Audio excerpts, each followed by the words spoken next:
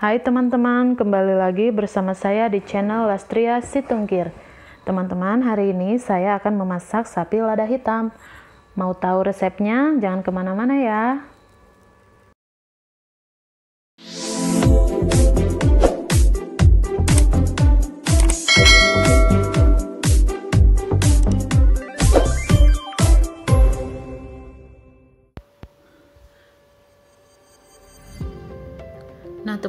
Teman-teman untuk memasak sapi lada hitam. Ini dia bahan-bahan yang sudah saya siapkan.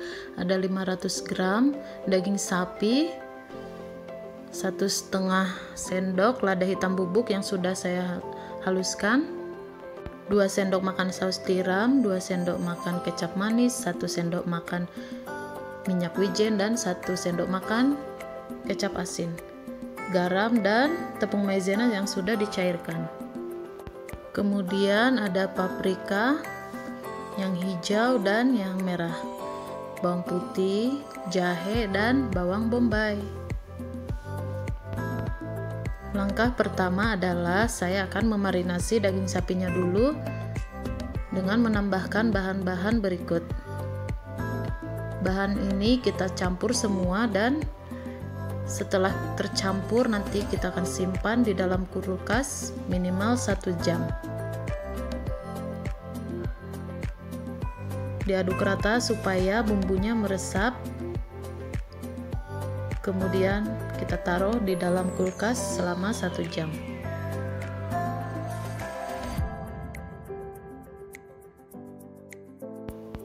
Nah sambil menunggu waktu satu jam selama dagingnya dimarinasi saya akan mempersiapkan bahan-bahannya terlebih dahulu.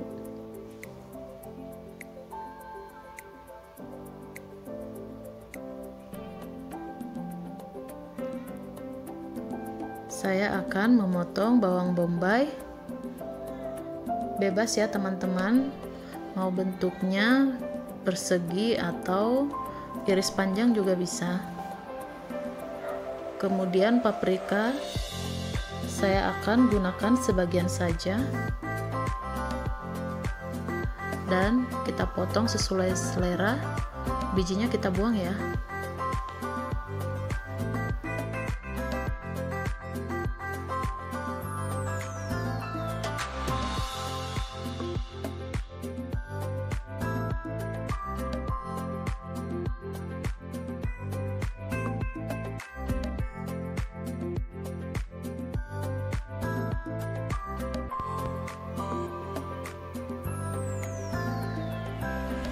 Kemudian paprika hijau saya juga gunakan sebagian saja. Jangan lupa bijinya dibuang. Dan potong sesuai selera.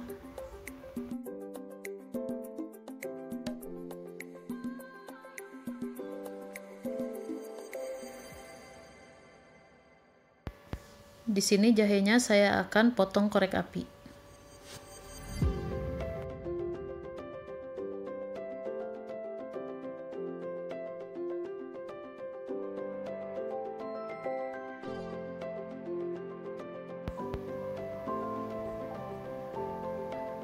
Kemudian bawang putihnya saya akan geprek dan cincang.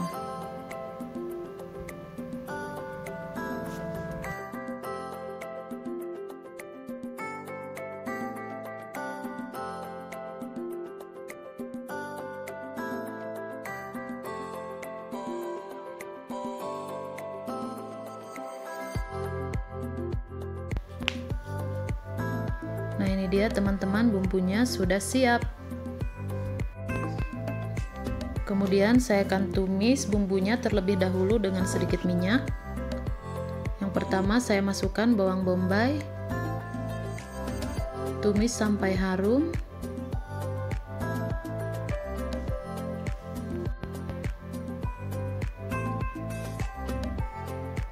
Setelah agak layu, kemudian masukkan bawang putih dan jahe.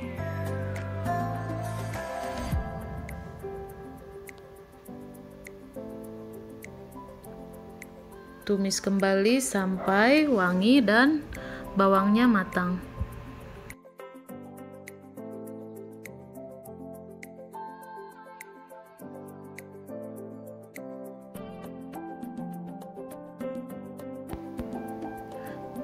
Setelah bawangnya matang, saya akan masukkan paprika hijau dan merah. Tumis sebentar saja sampai agak layu Kemudian matikan kompor dan bumbu ini kita akan sisihkan terlebih dahulu.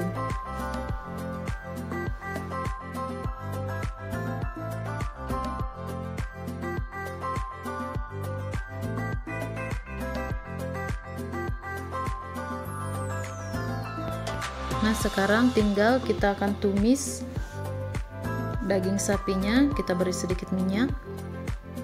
Ini setelah satu jam saya keluarkan, kemudian kita akan tumis.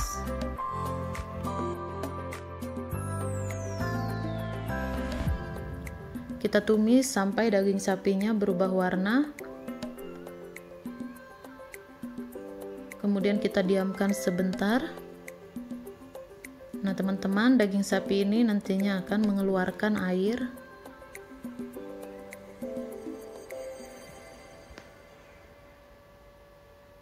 Seperti ini. Ini adalah air bawaan dari daging sapinya tadi. Jadi di sini saya belum tambahkan air ya.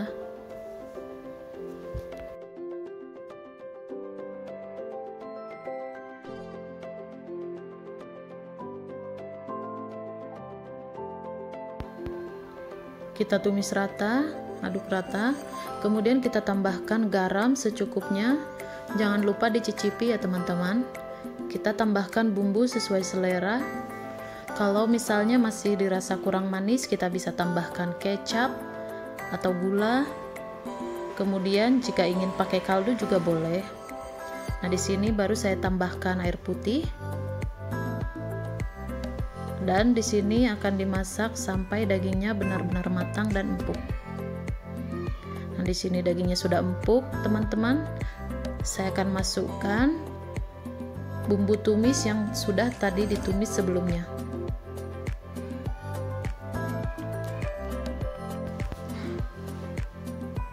Kemudian aduk rata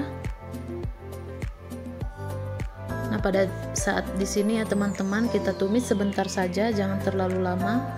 Karena kalau terlalu lama nanti sayuran paprikanya bisa layu dan lembek. Nah, teman-teman di sini jika teman-teman ingin kuahnya agak banyak, teman-teman bisa menambahkan air lebih banyak lagi. Nah, setelah itu saya akan tambahkan tepung maizena yang sudah dicairkan dengan sedikit air. Nah, setelah tepung ini masuk, kita hanya perlu mengaduk sebentar saja, jangan terlalu lama. Hanya supaya tekstur dari kuahnya itu mengental. Kemudian kita bisa matikan kompor dan siap disajikan.